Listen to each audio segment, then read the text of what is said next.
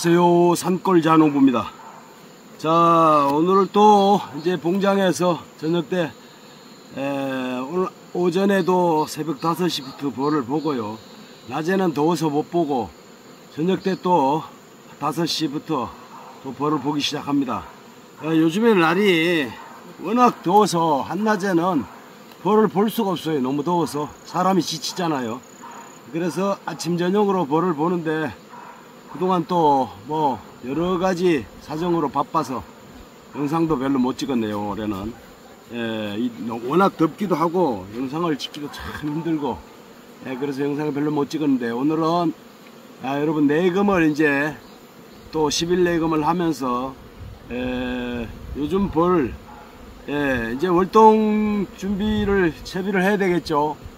월동 준비를 이제 본격적으로 해가면서 사양액도 어, 먹이를 확실하게 에, 이제 주면서 이제 그 다음에 두 번째는 진드기형의 방제입니다. 진드기형의 방제. 지난번에 진드기형의 방제를 옥살산, 옥살산 훈증을 세 번을 하고요. 그 다음에 지금 또 속살만 연막을 지금 두 번째 어제 두 번 했, 두 번째 했습니다. 두 번째 하고 세 번씩 세 번씩 하고 계속 교대로 하는데요. 종류별로 이제 바꿔가면서 약을 하는데요. 제가 이제 오늘 중요한 요즘에 벌 볼 거 뭐 중요한 거는 먹이하고 에, 먹이하고 방제입니다. 진드기 방제. 뭐니 뭐니 해도 두 가지가 제일 지금 주, 두 가지가 제일 중요하겠죠. 중요하고 그 다음에 뭐 벌 늘어나는 거 봐가면서 이제 중소 축소는 알아서 이제 하셔야 될 거고 예. 지금 날씨가 상당히 덥기 때문에 벌들도 지쳐 있잖아요. 그래서 소문 조절하고 그 다음에 이제 개포 예, 프로폴리스 망을 사용하면서 개포 덮개를 이렇게 잘 이용하고 그런 간단한 거와 중요한 거는 먹이하고 방제입니다. 진드기 방제. 그런데 제가 한 가지 실례를 여기서 말씀을 드릴게요. 에, 지난번에 작년에 내가 올려드린 영상에서 무지개 연막기 예, 옥사, 속살만 앰프로 연막기 하는 걸 그거를 보여드렸는데 그거를 많이 사용을 하시는 것 같더라고요. 저도 원래 들어와서 또 그걸 한번 사용하고 있는데요. 제가 이제 지, 난번에 첫 번째 할 때는 오전에 했습니다. 오전에 했을 때 한 5, 6초 정도 소문에다가 이렇게 집어넣어 가지고 했었는데 그때는 괜찮았어요. 그런데 어, 이게 이제 저녁 때 어제는 바빠서 저녁 때 한 5시 넘어서 했어요. 한 6시쯤 했어요. 바빠서. 그래도 이 벌의 동료가 이게 저 지금 예, 속살만 연막은 벌의 동료가 없고 괜찮길래 했더니 이 여러분 저녁 때 하지 마세요. 속살만 이 무지개 연막기 저녁 때 하지 마세요. 저녁 때 하니까 오늘 아침에 보니까 벌이 상당히 많이 죽어 있더라고요. 수문 앞에. 전체적으로 그래요. 저희가 한 350분 정도 되는데 공장에 전체적으로 그래요. 요즘에 더워서 벌들 산란하기도 힘들고 벌 키우기도 힘든데 에, 오히려 어, 약을 너무 저녁 때 저녁 때 하는 바람에 많이 죽었어요. 많이 죽어가지고 아, 그것도 좋은 경험이구나 또 하나 이렇게 생각을 하고 지나가지만은 상당한 그 실수라고 보면 실수입니다. 저녁 때 모든 약은 저녁 때 하면 안 될 것 같아요. 모든 약은 저녁 때 하면은 안 좋습니다. 특히 독한 약들. 저녁 때 하면 안 좋고요. 이게 속살만 무지개 연막기도 속살만 무지개 연막기도 그 벌의 동료가 없고 굉장히 그 하기도 편리하고 빠른 시간에 할 수 있고. 저희가 한 350통을요 1시간이면 다 합니다. 그걸 하면 1시간이면. 굉장히 최고 빠르죠. 방지하는 기계 중에서는 소독하는 중에서는. 그래서 그거를 또 세 번 하고 그 다음엔 또 다른 걸로 하려고 지금 그러고 있는데 어제 저녁 때 보니까 벌이 봉장에 와봤더니 굉장히 많이 죽었어요 오늘 아침에. 그래서 상당히 이거 실망을 하고 또 아 이런 또 하면서 이런 실수도 있구나 싶어서 여러분들에게 분명히 말씀을 드리는데요. 무지개 연막기 사용하시는 분들 다른 것도 마찬가지예요. 저녁 때 약을 하시면 안 돼요 저녁 때. 5시 넘어서 약을 하시면 안 돼요. 오전에 하시는 게 좋아요 오전에. 오전에 약을 항상 오전에 해야 되고 온도 맞춰서 해야 되고.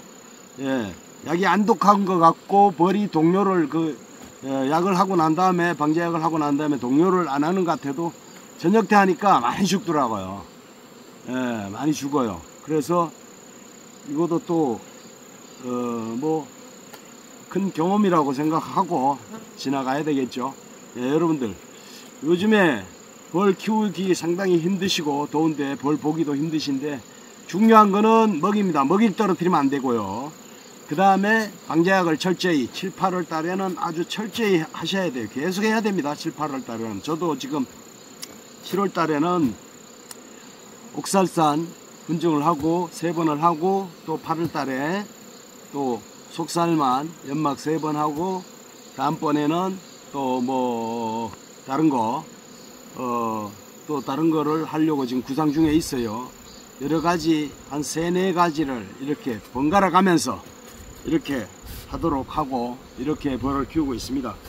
여러분 저 작년 제 영상에 보시면은 월동 준비 월동벌 키우는 준비를 소상하게 작년 영상에 예, 제가 기억하기로 8탄까지인가 올려놨어요. 1탄부터 8탄까지인가 올려놨는데 하여튼 그거를 참고적으로 좀 보시면 될 거예요. 보시면 되고 소상하게 상세하게 아주 잘 이렇게 올려놨습니다. 올려놨고 자 오늘도 또 내금을 한번 해가면서 사행액을 줘가면서 한번 보겠습니다.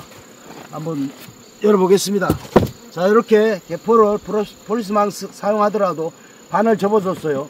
세 장만 되면 저희는 반은 접어줍니다. 반. 그래야 시원하게요 벌들. 요거는 참고적으로요. 요게 7월 한 10일경에 7월 10일경에 여기 분봉한 벌이에요. 자 요거는 항상 이렇게 하나씩 제가 여기 덥다고 요거를 하나 덮어 올려 놓습니다. 일부러 안 치우고 요거는 그렇게 요거는 뭐 지금은 지금은 고체살은 안 줍니다. 저희는 사양액을 줍니다.